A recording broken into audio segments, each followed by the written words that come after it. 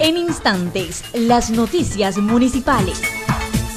con un desfile que inició en la de la avenida Eloy Alfaro, recorriendo las calles Vargas Torres y Bolívar hasta la explanada del Parque Sucre, con la asistencia del alcalde Dayton Alcíbar Alcíbar, su esposa Jenny Macías de Alcíbar, el concejal Kelvin Dueña Zambrano, teniente coronel Pablo Dávila Maldonado, jefe del distrito de policía Chone, autoridades educativas y municipales, acompañados de la banda musical policial. Se celebró la investidura de los brigadistas de seguridad escolar el 3 de diciembre del 2015 se inició el proyecto Escuelas Seguras que ha implementado el distrito Chone Flavio Alfaro de la Policía Nacional desde el circuito El Bejuco a cargo del cabo primero Marcelo Espinosa Taipe, quien viene preparando a los estudiantes de diferentes planteles educativos para brindar la seguridad interna y externa en los planteles educativos del cantón. Con el apoyo logístico del gobierno autónomo descentralizado municipal, realizaron un programa especial para la integración de más niños a estas brigadas, ya que antes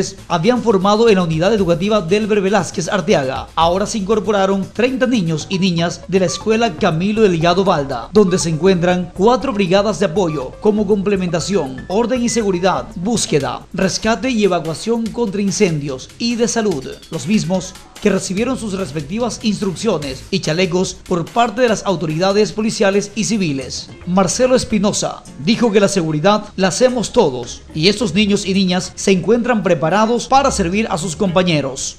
Es un gusto en esta mañana compartir con todos ustedes un trabajo que se viene realizando en cada una de las instituciones educativas del circuito Bejuco. Hoy nos encontramos trabajando con nuestros jóvenes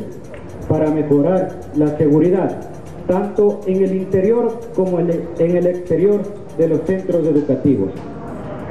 ayudando a cambiar,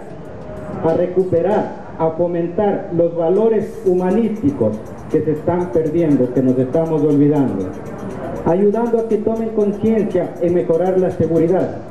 Este fue su microinformativo municipal.